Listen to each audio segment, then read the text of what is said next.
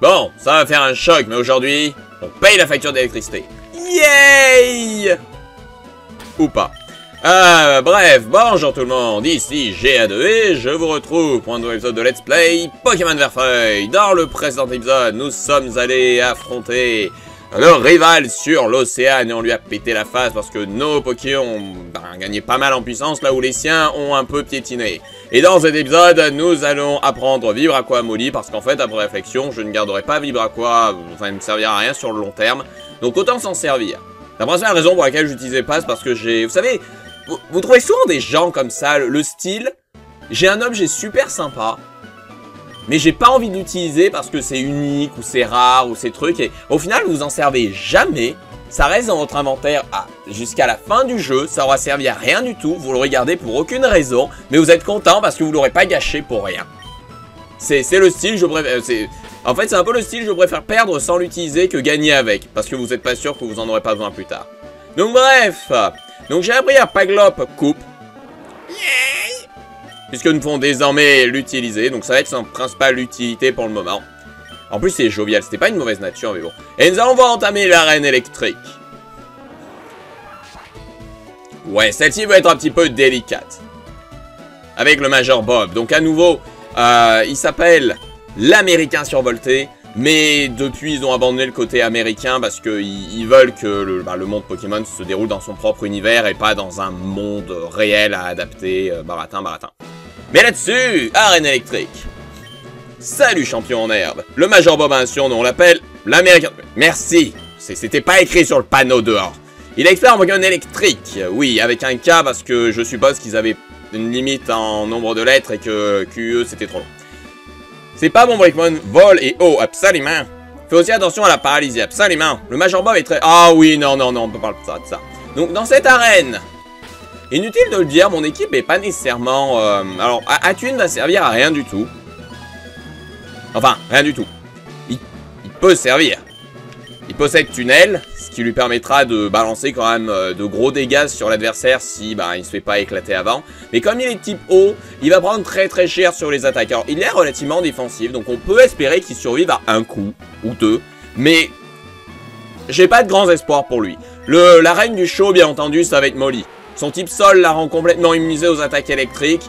Et point poison va m'assurer d'avoir une chance d'empoisonner mes adversaires. Parce que à part des attaques euh, type charge et compagnie, ils pourront rien faire d'autre.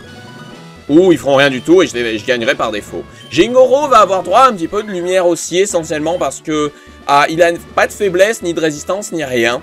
Donc ça signifie qu'il va pouvoir infliger des gros dégâts. Mais le problème, c'est qu'il va être aussi très vulnérable au... Euh, au... Comment... Enfin, il va être... Il, il va prendre très très cher.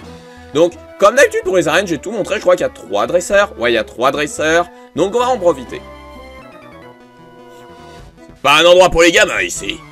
Tu es un marin. Qu'est-ce que tu fiches dans une arène électrique? Les marins, normalement, ils ont des pokés euh, combat ou eau. Mais celui-ci a vraiment un Pikachu. D'ailleurs, il me semble que j'avais dit que Pikachu ne se trouvait que dans la forêt de Jade. C'est une erreur. On peut le trouver ailleurs beaucoup plus tard. J'aurais dû dire que c'était le premier endroit où on pouvait le trouver. Bref, Jingoro devrait pas avoir de mal à one-shot tous ses adversaires. Merci. Mais il reste très sensible à statique, puisqu'il ne frappe qu'avec des attaques de contact. Je vais surtout lui donner l'un ou l'autre niveau avant de passer sur Molly. Et Molly, je vais donner Vibraqua, bien entendu, pour éviter de choper statique. Trop souvent. Parce que même type sol, ça reste vulnérable. Niveau Poké, donc, euh, bien entendu, à éviter. Et voilà, statique qui tombe, mais au moins, ça sera tombé sur son deuxième, pas sur son premier.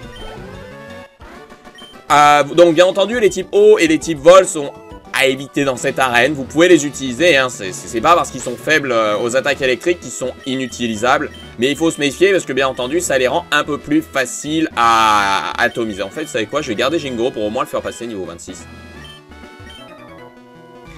Le truc, cependant, c'est que... Euh, ouais, bon, bref. Le truc, donc, c'est que vous pouvez aussi compter sur les Poké plantes pour encaisser assez bien cette arène. De manière générale, même un plutôt bon choix. Euh, si vous avez Bulbizarre, donc à nouveau, ça reste un excellent Poké pour euh, ces combats-ci. Il résiste à leurs attaques, il peut utiliser Tranchère, qui je crois n'est pas considéré comme une attaque de contact. Donc vous êtes plus ou moins certain que vous n'allez pas euh, être paralysé. Euh, Dis-moi quoi? Et là, vous voyez, comme il ne peut pas utiliser ses attaques électriques, même si je ne sais pas si Voltorb a une attaque électrique à ce niveau du jeu, ah, il est obligé d'utiliser charge. Alors, ça fait des dégâts corrects parce qu'il m'a balancé grincement qui réduit de 2 ma défense, mais... Oh, Sonic Boom. Inflige 20 points de dégâts. Forcé. C'est fixe. Donc bref, les types plantes sont utiles. Euh, je vois pas qu'il y a grand chose d'autre qui résiste aux autres types électriques, à part le type électrique. Et le seul électrique que vous avez rencontré jusqu'ici, normalement, c'est Pikachu, dont je parlais un peu plus tôt. Et le problème de Pikachu, c'est qu'il ne sera pas évolué, puisque vous pouvez pas avoir de pierre foudre avant, sauf si vous l'échangez ou que je... il y en a une que je connais pas. Et par conséquent, ben, vous allez le, retrouver un petit peu sur le côté faible des statistiques quand vous allez affronter le champion. Donc niveau électrique c'est un peu limité, niveau plante, ben, là vous en avez plein, vous avez Chetiflor ou Mystère en fonction de votre version, vous avez Florizard potentiellement, enfin Blizzard potentiellement. Si jamais vous avez une équipe vraiment lamentable, vous pouvez ignorer l'arène complètement, puisque comme vous avez coupe et que c'est la seule chose qu'il vous faut pour progresser vers la suite de l'aventure, si vous avez vraiment pas un moyen de la vaincre maintenant, vous pouvez continuer le jeu et revenir euh, plus tard quand vous pouvez euh, liquider le Major Bob sans aucune difficulté. Autrement, vous pouvez toujours capturer soit un sablette si vous êtes dans Verfeuille, même si c'est pas le meilleur, soit un Topiqueur dans la grotte qui est juste à côté, et Topiqueur en général suffit à liquider à peu près tout dans cette arène. Donc Jingoro essaye d'apprendre Frappe Atlas. Ah, c'est une attaque un peu spéciale. En gros, elle inflige des dégâts basés sur le niveau du lanceur. Donc si vous êtes niveau 20, ça inflige 20 points de dégâts. Si vous êtes niveau 100, ça inflige 100 points de dégâts. C'est pas très utile. Ça peut avoir son intérêt si vous avez un Poké qui est très très faible d'un point de vue euh, statistique offensive et que vous voulez... Euh, je sais pas, lui donner moyen de pouvoir frapper quand même correctement. C'est ce qui a été fait sur le Vénard à une époque en, compétitif. Comme le Vénard est une faiblesse monstrueuse sur les, ses, euh, statistiques offensives, il lui donnait frappe Atlas pour qu'il puisse au moins faire des dégâts. Mais passons, la double pied sera bien meilleure. Magnéti ne peut pas avoir statique et il est type acier, donc euh, ça devrait le liquider facilement. Comme vous pouvez facilement deviner, je vais beaucoup entraîner Molly pour qu'elle gagne l'un ou l'autre niveau. Mais normalement, cette arène devrait être assez simple. Honnêtement. Donc ouais, ouais, ouais, ouais. Cependant, il y a un autre élément qui va être très, très, très compliqué dans cette arène. Oh non, c'est là que ma chance devra essayer de briller je sais pas si je vous l'ai déjà dit, mais la chance n'est pas mon point fort. Alors mais le Major Bob était mon supérieur, c'était très instructif d'être sous ses ordres. Il me semble que la version originale, il disait qu'il lui avait sauvé la vie, le Major Bob. Un truc du genre, le Major Bob m'a sauvé euh, la vie pendant la guerre et depuis je lui suis fidèle. Un truc comme ça. Bref. Quoi? Oh non, il m'attaque c'est à peu près la seule chose que Pikachu peut faire, à part euh, Mimikyu ou que sais-je. Yeah, confus S'il est confus, je peux le mettre KO prochain tour sans mal. Donc ouais, l'arène est protégée par un système euh, absolument impopulaire. Méga impopulaire. C'est de la grosse cochonnerie. Je déteste ce système. Vous pouvez passer 10 minutes comme une. Vous pouvez passer une demi-heure comme 30 euh, secondes. Et yay, niveau 24, parfait. Molly n'a plus aucune attaque à apprendre de toute façon, donc ses niveaux sont juste là pour augmenter ses statistiques. Bien. Donc vous voyez, il y a des poubelles partout. Ces poubelles seront votre, euh, votre pire ennemi dans cette arène. Puis après, ce sera le Major Bob. Même si le Major Bob peut être très très dur à vaincre, ah, les poubelles sont pires. sont horribles. Je déteste les poubelles. Ah, bref. On va soigner un petit coup. Je sais pas si je vais mettre euh, Molly en premier quand même. Enfin, première. Je vais peut-être laisser à Jingoro quand même une chance de pouvoir briller. Ouais, je vais laisser Jingoro quand même devant. Je pourrais laisser Atuin. Atuin.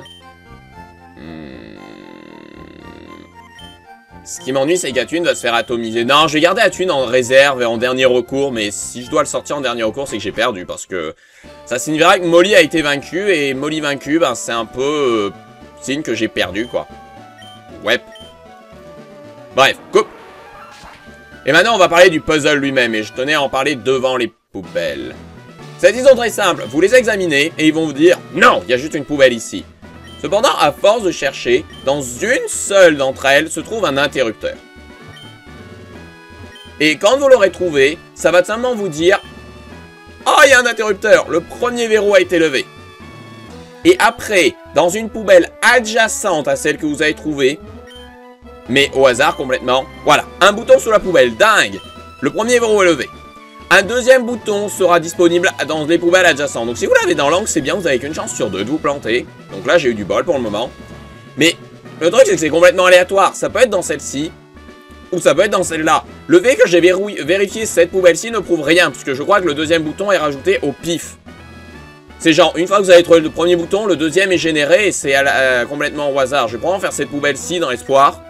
Oh oui Oui Oui Du premier que... Plus sérieusement, vous pouvez passer des, dizaines de minutes sur ce puzzle parce que bah, c'est complètement hasard. Si jamais vous l'avez ici, par exemple, félicitations, vous avez quatre options, euh, vous avez presque aucun moyen de trouver le bon. Ah, peu importe, j'ai trouvé la solution. Ah ah ah, je suis trop fort. Hey, tu fais quoi là? Tu ne résisterais pas longtemps, temps de guerre Quoique j'aurais peut-être dû faire un, un, accent américain. Tu ne résisterais pas longtemps, temps de guerre Je vais t'avouer quelque chose, les Pokémon électriques m'ont sauvé pendant la guerre. Ils ont paralysé mes ennemis avec leurs éclairs, comme je te le dis. Et il va t'arriver la même chose. Quand t'es dents, tu vas morfler. Die, monster. You don't belong. Ah non, c'est pas ça. Bref, musique. Et nous avons Major Bob. Celui-ci commence avec Voltorb, niveau 21, électrique, anti-bruit comme capacité spéciale qui fait qu'il ne peut pas être... Euh, enfin, il n'est pas gêné par les attaques basées sur le son, donc grincement, sonic boom, mégaphone, ce genre de trucs, il s'en fiche. Avec les attaques, onde de choc, charge, grincement et sonic boom. Onde de choc est la disons, euh, signature de cette reine. C'est une attaque de, type électrique, comme vous seulement vous en douter, hein, je veux dire, onde de choc, et on est dans une arène électrique. 60 de puissance et qui touche à coup sûr, c'est pas une mauvaise CT, loin de là. Mais il y a quand même beaucoup mieux dans le jeu, donc c'est pas la meilleure non plus.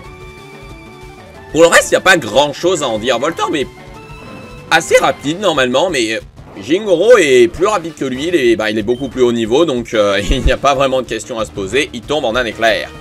Son second Pokémon est Pikachu, niveau 18, type électrique, ça dit comme capacité spéciale, donc une chance sur 3 de vous paralyser si vous l'attaquez avec des attaques de contact. Onde de choc, cage éclair, vive attaque et reflet. Reflet. Reflet est une attaque qui a été bannie en compétition et qui est de manière générale considérée comme très très euh, cheap, abusée. Un peu... Euh, vous l'utilisez, vous... Faut, faut pas l'utiliser en fait. Tout simplement, elle va augmenter d'un cran votre esquive. Et par un cran, j'entends que vous allez gagner euh, une chance sur 6, je crois, de pouvoir éviter les attaques. Une chance sur 6, ça va pas l'air si mauvais que ça. Le problème, c'est que si vous évitez la première attaque, vous allez utiliser la deux, et vous allez peut-être en remettre une deuxième de reflet, et un troisième, et un quatrième, et un cinquième, et un sixième, et arriver à 6, c'est complètement hasardeux. Vous êtes jamais sûr de toucher votre adversaire. Et c'est super horripilant. C'est... Il y a plusieurs adversaires comme ça qui se battent sur reflet, et ça rend les combats vraiment, est-ce que je vais te toucher un jour ou l'autre? C'est très nice. Mais bon. Cependant, Pikachu était très faible, je veux dire, niveau 18, euh, il est encore plus faible que son Voltorb, donc il n'y avait aucune chance qu'il survive. Je suis surpris que Jingo n'ait pas été paralysé, cependant. Et là-dessus, nous avons son champion, enfin, le champion du champion, ouais. Raichu, niveau 24, type électrique, statique comme capacité spéciale, donc pareil que Pikachu, avec onde de choc, cage éclair, vive attaque et reflet, c'est exactement la même chose que Pikachu. Je vais refaire casse-brique, mais comme vous le constater, lui ne perd pas son temps, il utilise reflet. Raichu peut être dangereux, et voilà, j'ai raté. Il a, de, il a des bonnes statistiques, hein, je veux dire, il est faible aux attaques physiques, mais ça n'empêche pas d'être très très bourrin, vous voyez, il me two-shot. Et je lui fais super mal, mais euh, je sais pas s'il va probablement soigner en fait. Ouais, il va soigner. On va balancer un, on va essayer un autre casse-brique. Je peux pas laisser Jingoro plus longtemps, sinon on va se faire mettre KO. Euh, la super potion ne l'a régénéré entièrement. Et j'ai retouché, parfait. Mais j'ai changé euh, Jingo instantanément. Et en plus, il est paralysé, donc euh, encore plus de raisons de le retirer, parce que là, Jingo, il est fichu. L'inconvénient de Raichu, c'est que comme il n'a que vive attaque, en guise de, bah, de coups euh, offensifs non électriques, un simple type sol peut le rendre complètement incapable de faire quoi que ce soit. Et comme euh, Molly dispose de points poison, chaque attaque a une chance de provoquer le point poison. Et au pire, c'était un peu ma stratégie de compter sur cette... Euh, il a survécu à un PV. Mais pourquoi? Oh, il a des total soins Tiens, je savais pas. Donc total soin est, une, euh, est un objet qui retire toute altération de statut. Même les... Ben... Même les trucs, donc comme la confusion, l'attraction et compagnie. Mais ça retire pas les trucs comme Vampigraine. Donc, et ça retire pas les malus de statistiques, etc. Donc comme vous pouvez le constater, bon, euh, au final, le Major Bob se sera arraché la tête. Wow Tire loin, toi Très bien, prends le badge foudre Et une, de fric. Bon, c'était pas très très impressionnant. Le badge foudre augmente la vitesse de tes Pokémon, il met aussi à tes Pokémon d'utiliser vol. T'es quelqu'un de pas ordinaire, prends ça Et il nous donne la CT34 qui, surprise surprise, contient de choc Electric Euh, non, n'apprenez surtout pas ce genre d'attaque à un Pokémon électrique. Parce que, en fait, c'est un peu comme Ondine quand elle vous donne du bras quoi, qu'elle dit Apprends-le un type Oh Justement, non, ces attaques ont l'avantage de pouvoir être apprises à plein de Poké différents. Le donnez pas à un Poké électrique, donnez-le à un autre. Un qui saura, enfin, qui aurait pas d'attaque électrique normalement. À nouveau, Kadabra peut l'apprendre, ce qui est très bien parce que c'est l'une des rares attaques électriques qu'il peut obtenir. Et ben, c'est pas mal. Là, ici, je crois que Molly peut l'apprendre. Donc voilà, 60. Euh, précision totale. 20 pp, ce qui est pas mal. Et Molly peut la prendre. Et Molly est de type sol, poison. Donc je pense que je vais lui donner. Yeah. Um... Oh, mais qu'est-ce que je retire?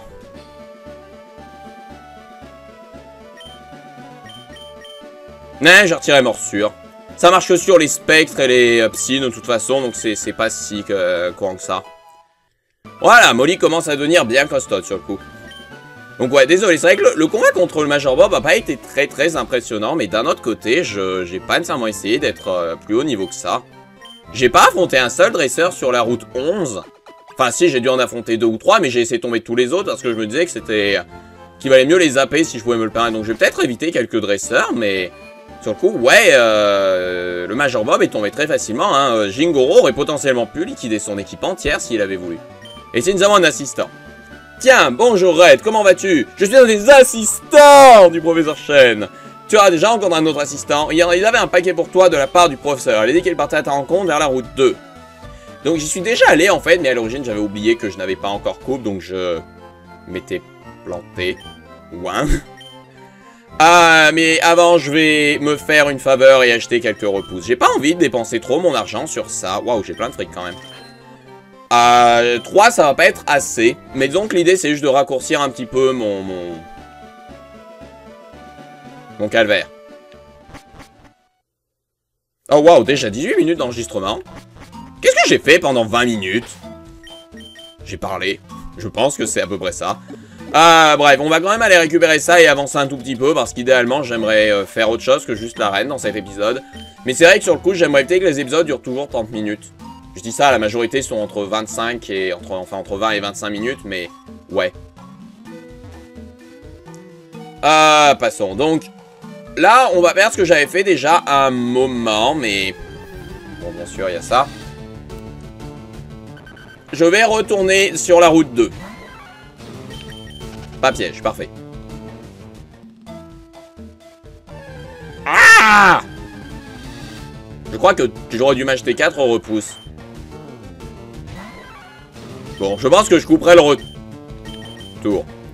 Force cachée. Bam Ça ressemble à machouille dans cet endroit. Peu importe, il est KO. Euh, vous savez quoi, je pense que je vais utiliser... Quoique, je dois pas être si loin que ça de la sortie. Je sais plus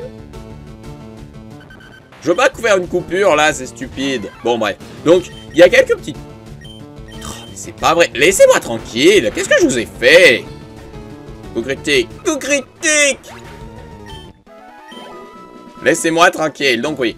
Euh, il y a quelques petites choses... Oui, il a sorti. Qu'on peut récupérer par là-bas. Donc, déjà, cette fois-ci que j'ai coupe... Par là-haut, j'ai déjà récupéré ce truc parfait. Donc il y a toujours le type qui vous échangera un Abra contre un Monsieur Mime. Donc si vous êtes motivé à capturer un Abra, ben c'est bien. Autrement, vous pouvez acheter un Abra plus tard. Ouais, acheter. C'est l'un des rares jeux où on pouvait acheter des Pokémon. Donc, au pire, voilà. Toi Si un Pokémon a un prix Flash, tu pourras traverser la grotte. C'est pas nécessaire d'avoir Flash pour traverser la grotte, mais c'est toujours sympa. Salut, tu te rappelles de moi? Je suis un assistant du professeur Shen. Si tu attrapes 10 Pokémon différents, j'en sais t'offrir cette CS5 alors, as-tu attrapé au moins 10 Pokémon différents Oui, je dois en avoir genre, pas 24. Félicitations, on voit cette récompense et il nous donne la CS5, il s'agit de Flash. C'est une CS, donc ça signifie que si vous la prenez un Poké, vous allez avoir du mal à vous en débarrasser. Elle n'est pas nécessaire pour avancer. Et son unique intérêt en combat est de diminuer la précision de l'adversaire d'un cran. C'est comme, euh, littéralement... Euh, jet de sable, sauf que la précision est nulle. Dans cette génération, elle, est nulle, complètement nulle. Donc, vous pouvez la donner à Paras, ce que je fais, à Paglop, pardon. Mais autrement, évitez de la prendre à un de vos poké principaux. Moi, je sais que je, vais, peux me balader avec un esclave ACS actuellement, donc je me le permets. Et ici, nous avons une huile qui régénérera de 10 PP une attaque euh, de votre choix, et ça doit être une Pokéball. Non, c'est une Antibara. Euh, il me semblait qu'il y avait une Pokéball ici. Bon, bah tant pis. Ma mémoire est nulle, tant pis. Bon, les objets eux-mêmes sont pas géniaux, mais ça arrive. Allez, paf. Donc, dans les générations euh, plus modernes, la CS5 Flash a, été mise en version CT. Elle continue d'avoir à peu près le même système. Je crois par contre que sa précision a été montée à 100, ce qui est un tout petit peu mieux quand même. Mais globalement, ça se limite un peu à ça. Faut le reconnaître. Ah, donc c'est pas une très très bonne CS du tout. Donnez-la à un Poké que vous, euh, vous comptez pas utiliser de manière générale, parce que sinon vous allez un peu perdre votre temps. Enfin, ça où vous bloquez un espace euh, d'attaque, et même si vous pourrez la retirer un peu après la grotte en question, il est conseillé d'éviter. Bref. Ici, si vous avez coupe, vous pouvez entrer ici ah, ah, ah, je suis arrivé derrière le comptoir, salut. Ne te cache pas dans l'ombre Enfin, c'est amuse. Au fait, sais-tu ce que c'est l'ambre Non. L'ambre est en fait de la sève tombée des arbres. Avec le temps, la sève se fossilise pour devenir de l'ambre. Cool. Et nous avons des scientifiques. Les secrets de l'espace, les mystères de la Terre. Il y a tant de choses que nous ne comprenons pas encore. Mais ça doit nous motiver à apprendre davantage. D'ailleurs, des lectures que j'apprenne Frappe Atlas un de tes Pokémon. Donc j'ai déjà parlé de ce qu'était Frappe Atlas un peu plus tôt. Je ne veux pas de Frappe Atlas. C'est un peu naze. Ah, nous avons deux fossiles dont nous sommes très fiers. Ce sont des Pokémon préhistoriques. Ouais, il les monte là-bas. Et ici, nous avons justement de l'ambre. Je crois qu'il y a des traces d'ADN de Pokémon dans ce morceau d'ambre. Ce serait une avancée scientifique incroyable si on pouvait régénérer un Pokémon à partir de cette pierre, non? Hein? Mais personne ne m'écoute. J'ai une faveur à te demander. Apporte ça à mon labo Pokémon pour l'examiner. Et nous obtenons le vieil ambre. Comme pour les fossiles que nous avions récupérés euh, au Mont Sélénite, je ne vais pas présenter le Pokémon lui-même. Mais celui-ci est intéressant. C'est pour moi le plus intéressant des trois. Mais le problème, c'est que le moment où on pourra le retransformer en Poké, c'est euh, pour le septième badge. C'est très très tard dans le jeu. En fait, que je le montre littéralement. Actuellement, nous sommes ici. Normalement, nous, on était euh, à Carmin-sur-Mer et on doit retourner à Azuria pour continuer. Vous voyez, on, doit avancer. La grotte, elle est là. Le labo il est là. Oui, il est là. Donc comme vous pouvez le constater, c'est un peu difficile d'y accéder parce qu'il y a de l'eau partout. Donc, euh, ouais, non, c'est pas du tout pour tout de suite. Mais bon. Autant le récupérer tant qu'on peut. Hein. Vous pouvez repartir par là-bas et euh, bah, vous avez la route 3, vous pouvez euh, capturer les Pokés que vous aviez pu rater. Vous pouvez retraverser le mont Sélénite pour retourner sur la route 4 et ben, si vous voulez apprendre Ultima Washi à quelqu'un ou récupérer l'objet que vous aviez raté, etc. vous pouvez. Ou sinon, vous pouvez, avec joie et bonne humeur, retraverser la cave Topiqueur et retourner à Carmin-sur-Mer. Donc je pense que je vais faire ça et que je vous retrouverai la prochaine fois. Jack pour qu'on aille euh, en direction de la cave et qu'on essaye de la traverser. Donc d'ici là, ciao